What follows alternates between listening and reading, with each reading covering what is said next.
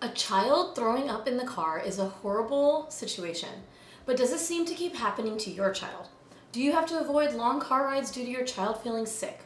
This video will cover motion sickness, what causes it, as well as environmental modifications, alternative therapies, and medications that can be used to relieve symptoms. Make sure you stick around to hear tried and true methods that fellow parents from our Peds Doc Talk community on Instagram have recommended.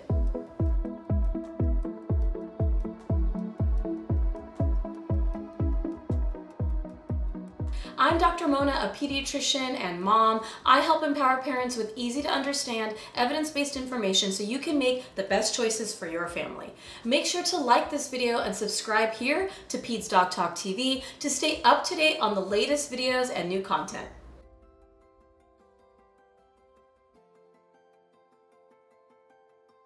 Motion sickness is a type of nausea that can occur when a person is traveling in a car, boat, airplane, or other mode of transportation. The exact cause of motion sickness is not fully understood, but it is believed to be a result of conflicting signals sent to the brain by the body's sensory systems. The inner ear plays a significant role in motion sickness, as it's responsible for detecting the body's position and movement in space. When a person is in motion, the inner ear sends signals to the brain that can conflict with other sensory signals, such as those from the eyes or skin. For example, let's say you are on a boat. Your inner ear detects the ongoing movement of your body due to the movement of the boat. But your visual system detects that you are standing still. You are seeing a stationary interior cabin of the ship. This conflict can cause the brain to become confused, leading to symptoms of motion sickness. Or in the case of riding in a car, your inner ear detects you are moving, but your visual system is fixated on a book or iPad in the car. Cue nausea. This concept is really important to understand, especially when we get into remedies and things to try for your kid for motion sickness.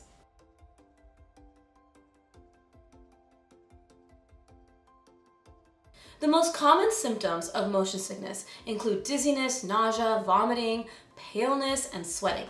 Some children will also complain of a headache or tummy ache. Symptoms typically resolve after a few hours of stopping motion, but for some kids, the nausea can linger longer.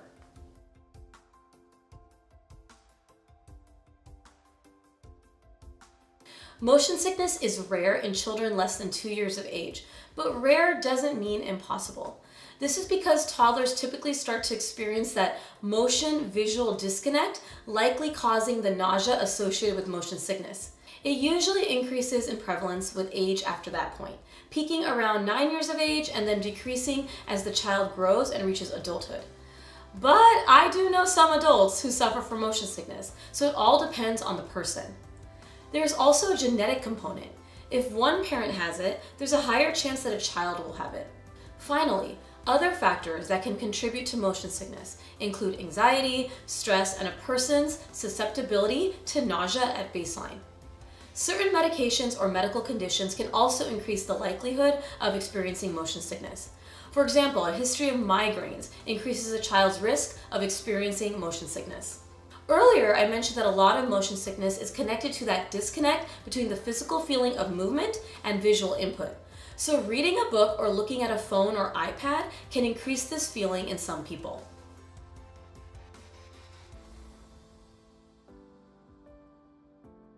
Strategies to prevent motion sickness can be divided into three categories, environmental modifications, complementary and alternative treatments, and medications.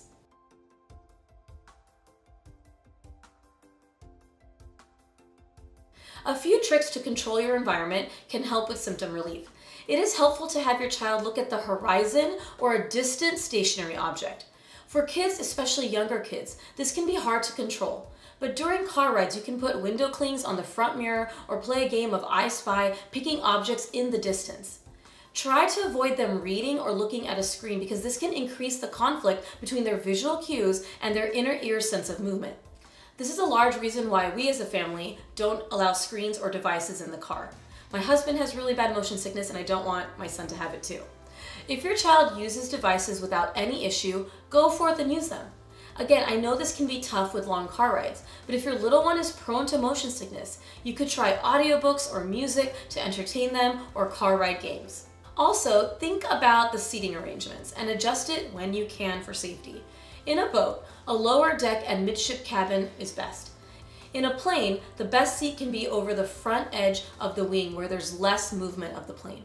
In a car, the front seat is the best option for motion sickness, but that is not a safe option for children under the age of 13. For younger children, the middle seat is often preferred, and if it's a three row car, sit in the second row instead of the third. The idea is wherever there is less movement or bouncing, the better. But remember, safety is important too. For kids in car seats, if the car seat has multiple positions, you could try adjusting the seat so they're upright as possible, safety in mind.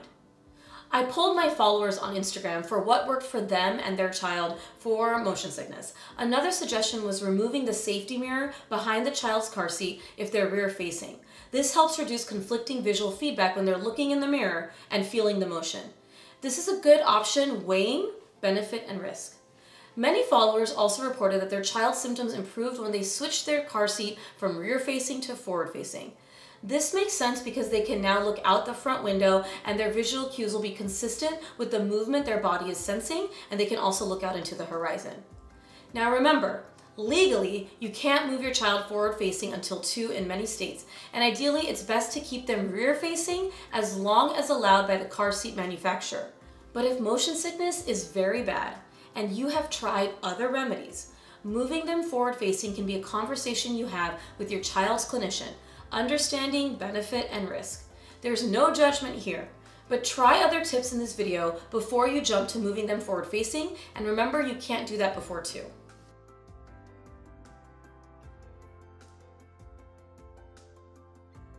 In addition to these recommended measures, alternative treatments include the use of ginger and acupressure bands.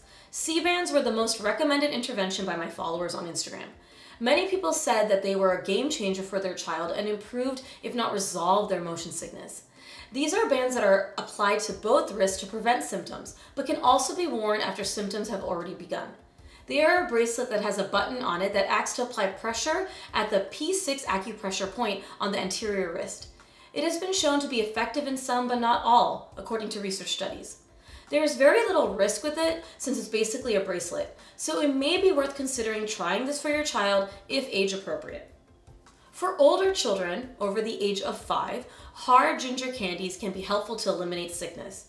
This should not be used in children younger than 5 due to the risk of choking on candy. Randomized trials have shown reduced symptoms in people pre-treated with ginger before getting on a ship or riding in a car. You can also peel fresh ginger, cut it up into little chunks and allow them to chew on it, releasing that ginger remedy. Another simple tip for a child who follows commands is to have them close their eyes to remove the sensory confusion that can cause motion sickness. If you are avoiding screens or reading, you're having your child look out into the distance and using any of the above recommendations and it's not working, you can stop your car as soon as possible that's safe and let your child get out and walk around. If you are on a long car trip, you may have to make frequent short stops if possible. In terms of snacking and meals, give your child a light snack before a trip that can cause motion sickness. This relieves the hunger pains that can add to symptoms but avoid a large meal as this can upset the stomach, leading to nausea and vomiting. Think Goldilocks and the Three Bears, a happy spot and a happy medium. Distract your child by singing, talking, or letting them pick out their favorite music. If you need to stop because there's nausea, remove them from the car and have them lie on their back or side for a few minutes with their eyes closed. Apply a cool cloth on the forehead. Personally, I also think essential oils can help here by distracting your child during nauseous episodes. This is only useful if the child is older than four and can hold the container without spilling it or drinking it. Sniffing scents like lavender can take a child's mind off the nausea with your conversation and redirection as well. Here are some other tips also backed by my Instagram followers. Increasing airflow, whether with open windows, vents, or a handheld fan. Sniff an alcohol pad, which by the way is great for pregnancy nausea too. Keep the car a cooler temperature. Try to plan longer drives for when kids are sleeping. I'm okay with this as motion sickness impacts older toddlers and not newborns or infants. For newborns and infants, we'd want check-ins if they're sleeping in a car seat every two to three hours or with a mirror in your car. Finally, not a tip to prevent motion sickness, but it is helpful to have supplies ready in case vomiting does occur. If you can teach your child to use a vomit bag and have cleaning supplies and a change of clothes in the car ready, just in case, it can reduce the stress of everyone involved.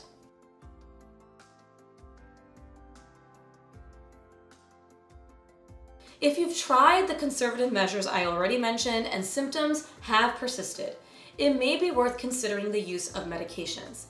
Antihistamines such as Dramamine or Dramamine less drowsy are the most common medications used to treat motion sickness in children. Benadryl used to be popular, but has fallen out of favor due to its highly sedating properties. Diphenhydramine or Dramamine is available as a tablet or chewable tablet and is FDA approved for children 2 years and older. Meclizine, which is Dramamine less drowsy, is approved for children 12 years and older and is also available in chewable tablets or swallow tablets. Diphenhydramine is generally more effective than meclizine, but meclizine has a longer duration of action and only needs to be taken once a day, as opposed to dimenhydrinate, which needs to be taken every four to six hours. These medications should be given 30 to 60 minutes before the travel activity begins. The most common side effect seen with these medications is drowsiness, so talk to your child's clinician to see if they think any of these medications could be a good fit. Non-sedating antihistamines like Allegra, Claritin, or Zyrtec do not appear to be effective at preventing motion sickness and therefore are not typically recommended. Ondansetron, brand name is Zofran, is a prescription anti-nausea medication, but currently there's no evidence that it's effective at preventing motion sickness and it's not typically recommended. It may be beneficial to have this on hand if your child is having repetitive nausea episodes while riding in a car that's leading to vomiting.